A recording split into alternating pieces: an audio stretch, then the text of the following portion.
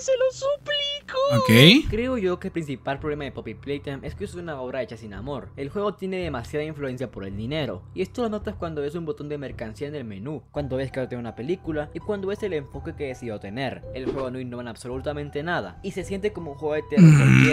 A ver, aquí Paper está lanzando cuchillos a matar. Ahorita lo está, lo está, está agarrando a Poppy Playtime así, le está dando con el cuchillo. ¡Toma! ¡Toma! Y nosotros, ya déjalo, está muerto. a ver. eh, yo creo que no muchos saben esto, pero realmente Sammy Nation no son los creadores de Poppy Playtime. Ha habido una persona que creó Poppy Playtime. Así que puedo decir que el juego sí está hecho con amor. El juego, y, y esto está público, todo el mundo lo puede buscar, tuvo una campaña en Kickstarter. Yo hace mucho hablé sobre esto. Y fue hecho por Isaac, que es el director ejecutivo, diría yo, de, de Poppy Playtime. Él fue el que, el que creó el juego. Antes de que tuviera los contratos que ahora tiene con Sammy Nation. Sammy Nation lo que hizo fue comprarlo a, a- a él. Bueno, a él no, sino comprar el... O, bueno, no comprar, financiar el proyecto. Que fue lo que no logró Poppy Playtime en Kickstarter. Isaac puso una campaña en Kickstarter para intentar que gente pues pagara su proyecto y pudiera hacerlo. Ya, el Kickstarter es una plataforma donde pueden ir eh, diferentes personas a proponer proyectos, ya sea de videojuegos, de juegos de mesa, eh, hasta de, de cosas para la casa, o sea, inventos, ¿no? Entonces, eh, él hizo su campaña y fracasó, no alcanzó lo que se necesitaba. Entonces, yo ahí me di cuenta de que realmente Poppy Playtime no es que lo hizo Samination. El juego está hecho con amor. Lo ha hecho una persona. Lo que pasa es que lo ha comercializado otro. Y ahí sí. Ahí sí podría decir, Samination ha financiado el juego. Puede que luego haya sentido cariño por el juego o algo, no lo sé. Pero si estás financiando un juego, es para realmente sacarle todo el provecho posible. Entonces aquí hay dos. Dos este. Personalidades, podríamos decir. Está el creador de Poppy Playtime, que fracasó en sus campañas de Kickstarter y fue apoyado por Sammy Nation. Financiado. Entonces, Sammy Nation va a hacer todo lo posible para vender la marca. Eso es todo lo que está pasando. Pero no significa que el juego no esté siendo hecho con amor. Porque el creador de Poppy Playtime sigue siendo el mismo. Es el mismo chico ilusionado eh, que es muy fan de Bendy and the Ink Machine. Porque él mismo lo ha dicho. Isaac ha dicho que ama Bendy and the Ink Machine y que es su juego favorito y que FNAF también así, o sea, él viene de la comunidad de FNAF y de Bendy, de los dos juegos. Por eso es que el juego tiene de las dos cosas. Pero no es que Samination creó el juego. No es que Samination se, se juntaron todos día y, y en, un, en, un, en, un, sótano privado oculto dijeron, miren, vamos a hacer un juego que lo vamos a comercializar y que va a aparecer a FNAF y le vamos a sacar todo el provecho y todo. no, no fue así. Sino pues que tuvieron la oportunidad, ¿cómo? No sé cómo, no sé cómo se dieron cuenta, no sé si alguien se dio cuenta en algún momento de la campaña de Kickstarter, luego se lo comentó al equipo, dijeron, mira, Isaac ha hecho este juego, podemos financiarlo y tal. Eh, pero sí es verdad de que, de que el juego está, está siendo hecho con amor. Porque el creador, pues como todos, ¿no? Si, si una obra de nosotros tiene éxito, vamos a ser felices con eso. Y si tenemos nuestra libertad creativa, que esto es lo más importante. Sammy Nation está sirviendo como una editora, como un distribuidor de Poppy Playtime. Ya es como que haya venido, pues no sé, eh, Sony y haya comprado eh, o haya financiado a Isaac. A Isaac, él mismo y su equipo, ¿no? No sé si era solamente él y tenía dos personas más, no, no lo recuerdo bien. Y de pronto Sony le dice, mira Isaac, eh, nos gusta el juego, pero queremos que, queremos que lo hagas paste, ¿no? Que lo cambies, que queremos que quite esto, que ponga esto, que pongas lo otro. Ahí ya le están quitando la libertad creativa a Isaac completamente. Sammy Nation creo que no ha hecho eso. En ningún momento. Ha financiado el proyecto, pero no ha hecho eso. No le ha quitado la libertad creativa a Isaac. Y eso es muy importante a la hora de elaborar un proyecto y más si se trata de un videojuego. Puedo poner de ejemplo de que Tarsier Studios, los que hicieron el juego de Little Nightmares, eh, estaban, tenían contrato con Bandai Namco, pero ellos se fueron y les dejaron los derechos a, Bandai Namco de, de, Little Nightmares. ¿Por qué se fueron? Porque Bandai Namco les estaba quitando la libertad, la creatividad de hacer los juegos que ellos querían. Solamente, Bandai solamente quería que hicieran lo que generara dinero. Entonces Tarsier Studios se fue, eh, se libró del contrato y se fue con una empresa que les permitiera tener libertad creativa. Y ellos actualmente están eh, preparando un juego. Un juego que, bueno, tendrá las mismas similitudes, similitudes en apartados gráficos, pero la historia será diferente a Little Nightmares. Pero sí es verdad que por esa razón ellos se fueron. Por lo tanto, sí creo que el juego está siendo hecho por amor, pero por aparte se está comercializando rápido. Pero eso ya es cuestión de decisiones de la junta directiva, ponle. de la junta directiva de Mob Games, ¿no? Eh, y porque, porque eso es lo que quieren y necesitan hacer, comercializar el juego. Y, eso es lo que está pasando. Innovación la hay, como dije antes. Sí hay innovación en Poppy Playtime. Y, y se puede notar. No es que no ha innovado en nada. Ha innovado en ciertos puntos. Quizás unos dos, tres puntos. No es una innovación completa no es una innovación enorme que, digan, que digamos, uff, esto es esto no esto es súper nuevo en todo sentido, ¿no? Esto jamás lo había visto, no, no podemos decir eso, pero sí hay ciertos puntos en los que ha innovado y por eso ha hecho tan especial, ha hecho que el juego sea tan especial también. Si ya jugaste Bendy, lo sentirás como un plagio. Y no me malentiendan, no digo que esté sobrevalorado, solo que el juego se siente algo genérico y del montón. El juego en sí no es malo, ya nombramos varios aspectos donde el juego se luce, y en estos aspectos también añadamos la historia, que se me olvidó mencionarla. Pero también tenemos la lista de errores. Y ahora toca la conclusión. Yo antes jugaba muerte a Poppy Playtime, y si no me creen, aquí tienen algunos tweets. Pero una vez que lo jugué, el final del juego cambió demasiado. El primer capítulo me pareció me, pero el segundo es una joya. Las polémicas del juego han quedado como manchón de tinta, y es por eso que decidí no hablar de en el video, ya que la mayoría, como la de los NFTs o del plagio, fueron desmentidas por Mob Games. El problema... Lo de los NFT fue una cagada. fue una cagada. Eh, yo en aquel momento no lo veía. Tan así, ya había gente que lo estaba viendo. Pero ya luego comprendí por qué, por qué fue tan malo tomar esa decisión. Lo bueno es que ha sido un error, pues que, que la mayoría puede perdonar. Ya otros ya no. Lo que pasa es que, claro, desde el hacerlo NFTs y tal, claramente se mira. Desde ese punto de vista se mira. Se mira una ansias de entrar en todo lo que pudieran vender. A ver, es lícito. Es lícito querer eh, optar por todas las oportunidades donde tu obra pueda ser vendida para, para generar. Es lícito. Lo que pasa es de que claro, si estás metiéndote en un terreno desconocido, pues puede pasar lo que pasó.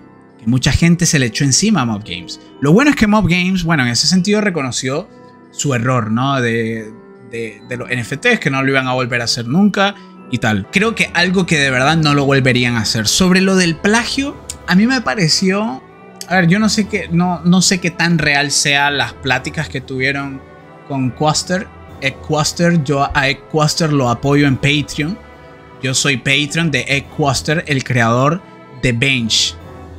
Y actualmente estoy siguiendo todos los pasos de Bench, todos los que le está haciendo, las actualizaciones y tal.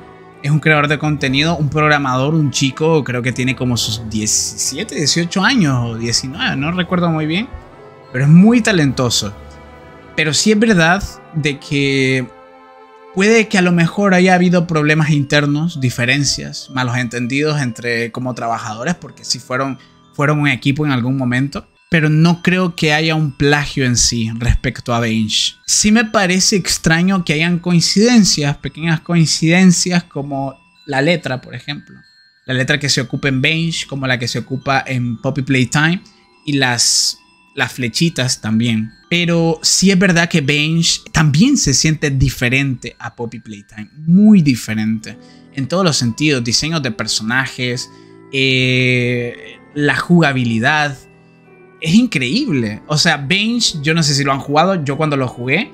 el juego inicia tú hablando con tu novia o con tu mamá en, en un teléfono. De que vas a ir a visitar un lugar que han hablado de que está abandonado, que no sé qué. Y para ir a ese lugar tienes que ir en bicicleta bajo la lluvia. ¿Eso lo vemos en Poppy Playtime? No. Es un juego muy diferente. Llegas a un lugar que está abandonado, que fue un teatro. Creo que está más enfocado en que fue un teatro, no una fábrica. Pero sí que fue un teatro. Y está abandonado. Los diseños de personaje son muy diferentes. Y de hecho ahora están más cambiados en Bench. Yo voy a hacer un vídeo más adelante eh, sobre las cosas nuevas que hay, que podemos esperar de Bench 2. Y, la verdad que es otra, es otra cosa, es otra cuestión. Pero sí me gusta el sentido de que eh, existe una fábula. Hay una fábula, ¿no? Entre los seres que están en la fábrica y, tú como protagonista. Sí es verdad que hay una, una fábula.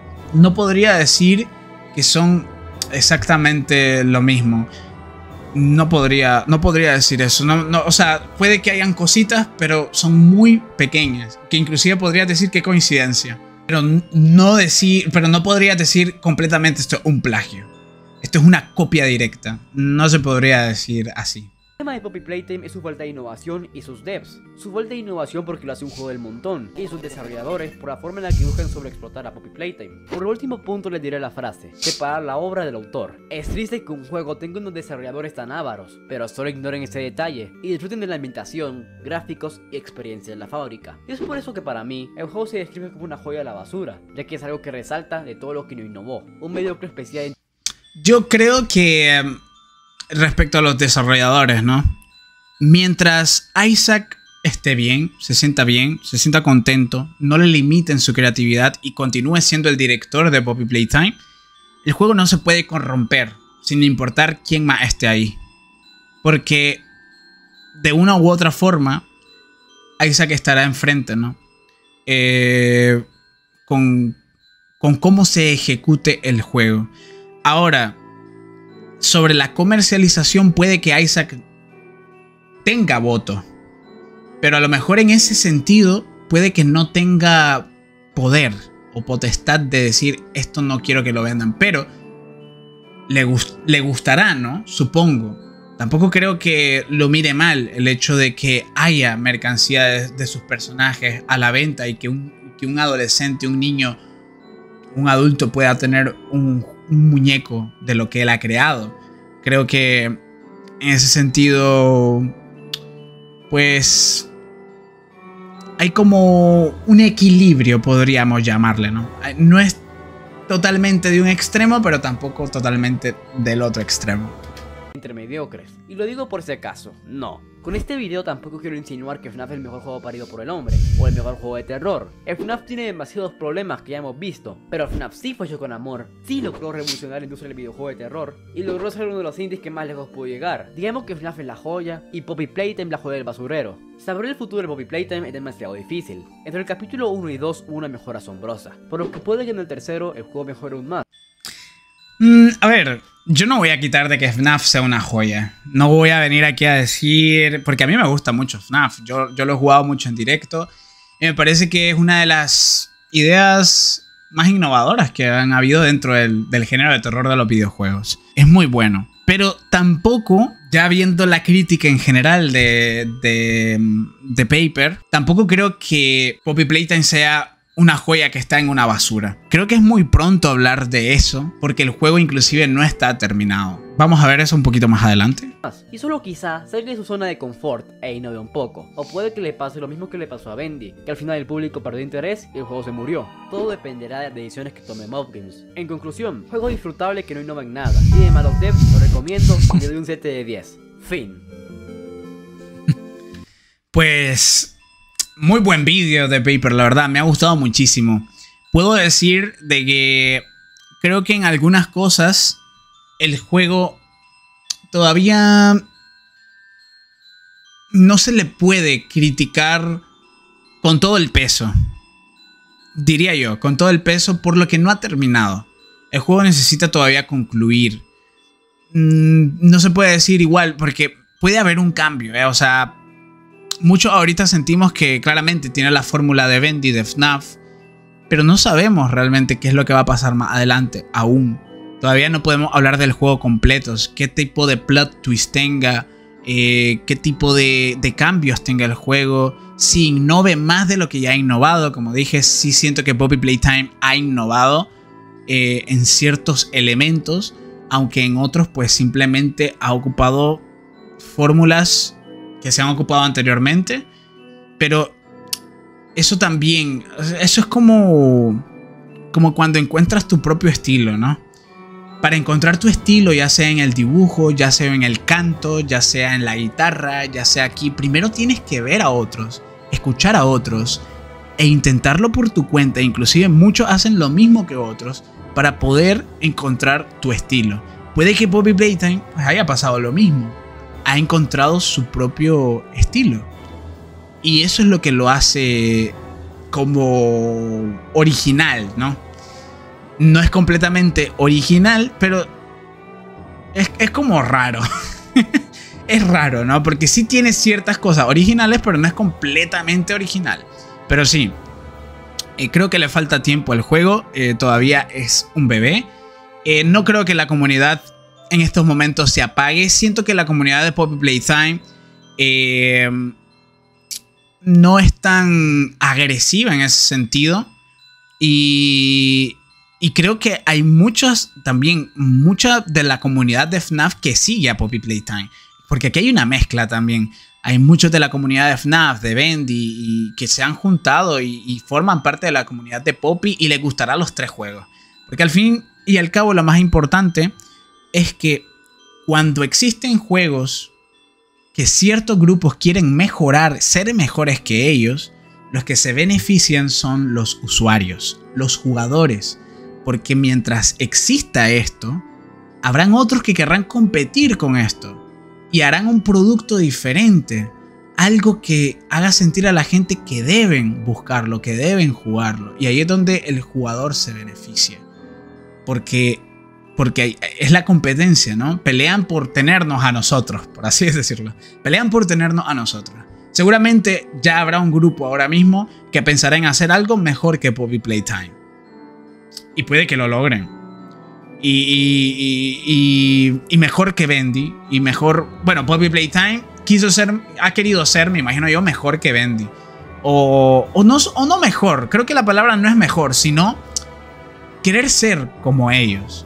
Porque si Isaac viene de amar tanto Bendy y FNAF, no creo que él vea esos juegos por debajo de su juego, sino todo lo contrario, gracias a ellos es que Poppy Playtime es lo que es.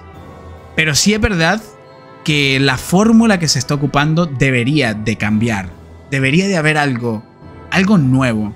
Pero eso nuevo ¿Habrá ahorita mismo algún tipo de límite entre lo que nos ofrecen estos juegos con lo que nos han ofrecido en el pasado? O sea, ¿se podrá encontrar un medio en esos juegos? ¿Y qué sería? ¿Qué tipo de historia, qué tipo de jugabilidad, qué tipo de forma de transmitir el terror sería? Me da mucha curiosidad porque sí es verdad que hay una línea entre, entre estos géneros. Y creo que no hemos visto ¿Qué va a haber en medio todavía? Creo que no lo hemos visto. A ver, a Paper le gusta Poppy Playtime. Eso no, no, no tengo la menor duda. Le ha gustado Poppy Playtime. Le ha gustado bastante. Le ha, le ha dado un 7 de 10. No me parece, no me parece mal. Si yo tuviera que puntuar Poppy Playtime, eh, yo le daría un 8 de 10. Porque todavía no toca el terror, a mi parecer. Tal vez en el capítulo 3 podamos encontrar esas cosas que todavía estamos buscando, eh, que todavía piensan, ¿no? Tal vez muchos piensan como The Paper, que Poppy Playtime no ha innovado en nada y a lo mejor en el capítulo 3 innova en lo que, en los que ellos piensan que deberían de innovar o les sorprenda, ¿no? Eh, pero sí es verdad que, que a The Paper le, le gusta Poppy Playtime y espero ganarme ese peluche. bueno, creo que aquí hemos llegado eh, al final. Muchas gracias a The Paper por permitirme reaccionar a su vídeo, eh, dar mi punto de vista. Eh, si estás viendo el vídeo, te envío un fuerte abrazo y espero sigas creciendo muchísimo. Siempre me va a encantar escuchar este tipo de crítica y tal. Y, y me parece que deben de existir porque no, no, los juegos no son perfectos. Eh, y si hay un juego perfecto, creo que es Zelda Breath of the Wild. Y con eso me despido. Nos vemos aquí, Nicheros, en un próximo videito. Muchas gracias por estar aquí. No olviden de dejar ese poderoso like si les ha gustado. De visitar el canal de The Paper. Que, que, está a fuego, está a fuego, The Paper está a fuego y está subiendo excelente contenido, así que pueden ir a suscribirse, le pueden dejar un saludito de mi parte y sin más, no olviden de tomar agüita para cuidar sus riñoncitos, hacer ejercicios unos 10 o 15 minutos al día y como siempre les digo, sigan viendo. Bye bye.